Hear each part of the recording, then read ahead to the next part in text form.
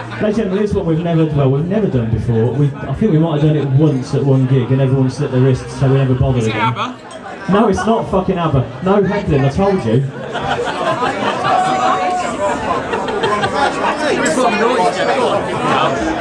Here's a um, little Pearl Jam song for you.